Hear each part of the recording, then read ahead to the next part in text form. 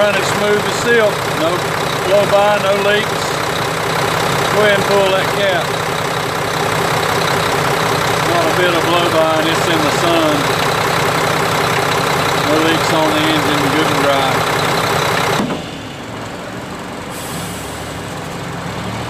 Demonstrate the box going up nice and smooth. You can see there's no exhaust smoke whatsoever. Burns clean. Dump body's in really good shape. Bulkhead's not dented up. No holes through the sides. Truck has a great bed liner in it.